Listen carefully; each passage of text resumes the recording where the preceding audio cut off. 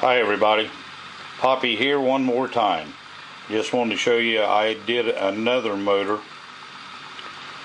Still using the uh, rollerblade wheel, the 775 wrap coil. It's a bifilar.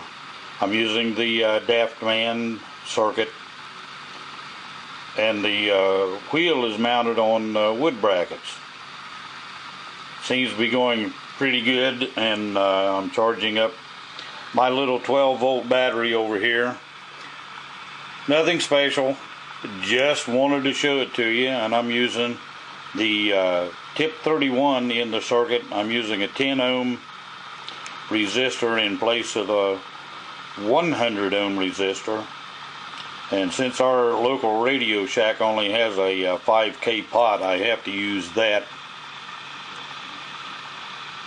and the rest of the circuit is exactly the same other than I just grabbed a couple diodes. I don't even know what the numbers are on them I don't think it's the uh, 4001 and the 4007 I think they're like 4004s but it seems to be working pretty good and it charges up that little 12 volt battery and I also have a little 6 volt battery that uh, my grandson could not get to charge and it charges it right up. It works very well thanks for watching. Appreciate your attention.